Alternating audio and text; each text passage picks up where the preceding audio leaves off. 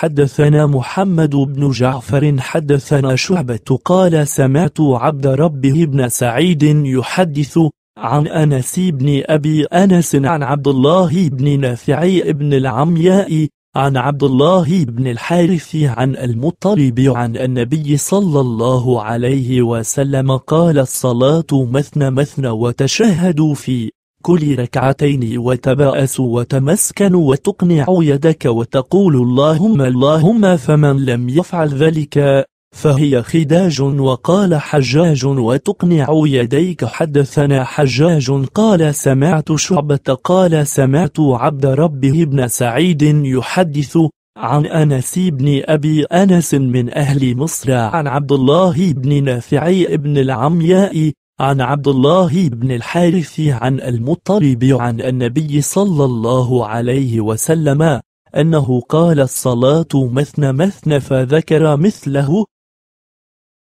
حسن هارون بن معروف حدثنا ابن وهب أخبرني الليث بن سعد عن عبد ربه بن سعيد عن عمران عن عبد الله عن ربيعة بن الحارث عن الفضل بن عباس عن رسول الله صلى الله عليه وسلم قال الصلاة مثنى مثنى تشهد في كل ركعتين وتضرع وتخشع وتساكن ثم تقنع يديك يقول ترفعهما إلى ربك عز وجل مستقبلا ببطونهما وجهك وتقول يا رب يا رب ثلاثا فمن لم يفعل ذلك فهي خداج قال أبو عبد الرحمن هذا هو عندي الصواب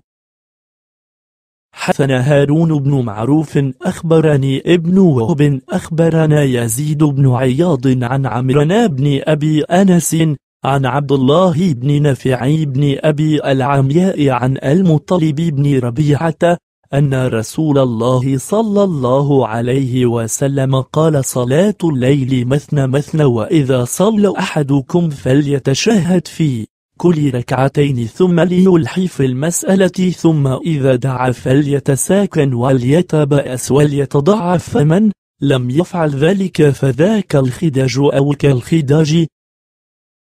حسن حجاج بن محمد أخبرني شعبة عن عمرو بن دينار عن عمرو بن أوس عن رجل حدثه مؤذن النبي صلى الله عليه وسلم قال نادى منادي النبي صلى الله عليه وسلم في يوم مطر ألا صلوا في الرحال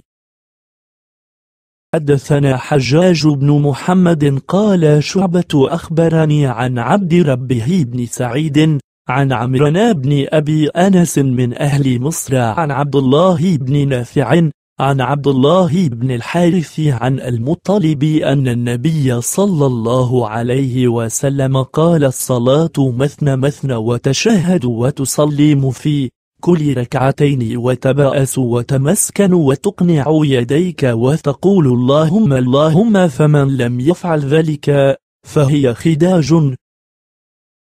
حسن روح حدثنا شعبة عن عبد ربه بن سعيد عن ابن أبي أنس عن عبد الله بن نافعي بن العمياء عن عبد الله بن الحارث عن المطلب أن النبي صلى الله عليه وسلم قال الصلاة مثنى مثنى تشهد في كل ركعتين وتبأس وتمسكن وتقنع يديك وتقول اللهم اللهم فمن لم يفعل ذلك فهي خداج قال شعبة فقلت صلاته خداج قال نعم فقلت لهما الإقناع فبسط يديه كأنه يدعو